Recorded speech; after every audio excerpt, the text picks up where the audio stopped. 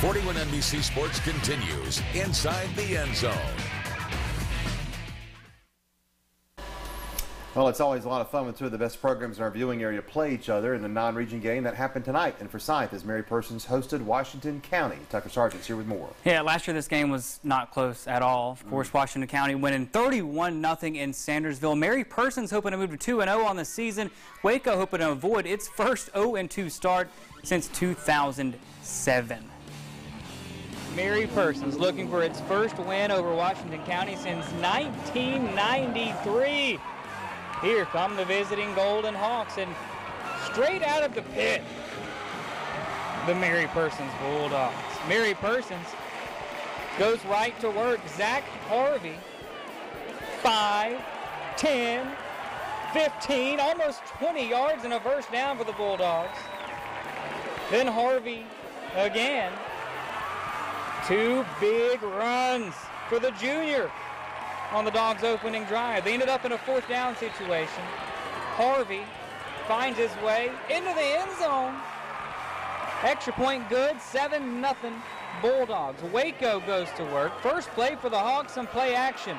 Houston Chanel to Marquivas Latimer. Down to the 20, but the Hawks would have to go for it on fourth down. Watch this catch by Latimer. Way up there. Touchdown tied at seven.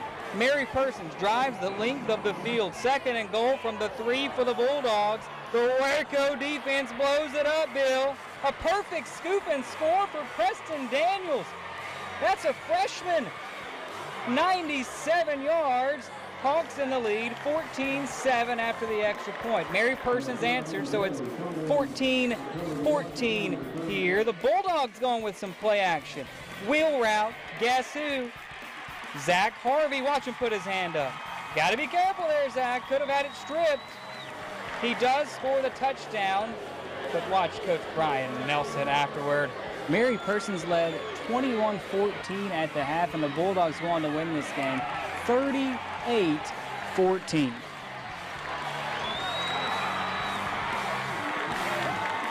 And after the game, I spoke with the winning coach, Mary Persons, Brian Nelson.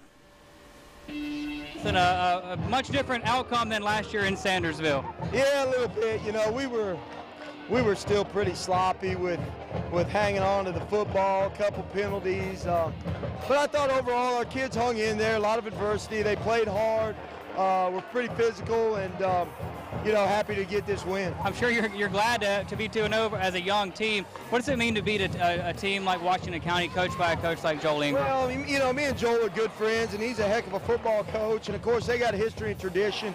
Um, you know, we're happy where we're at. We got a long way to go. Um, just just mistakes, and we got to clean stuff up. All stuff we can fix, but um, you know, we got to do a whole lot better job. The Bulldogs will visit Lamar County next week. Waco 0-2. Mm, first time in a long time. Yeah, absolutely. All right, thanks, Tucker. We'll have the scoreboard right after this.